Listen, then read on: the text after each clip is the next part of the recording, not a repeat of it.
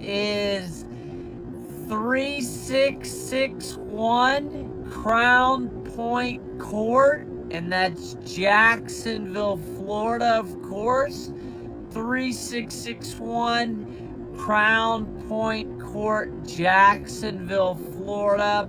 We're going to go ahead and put that address and directions and all that good stuff on the website. I'll update the home page, make sure it's on there, and also the contact tab if you wanted to uh, go back and uh, uh, look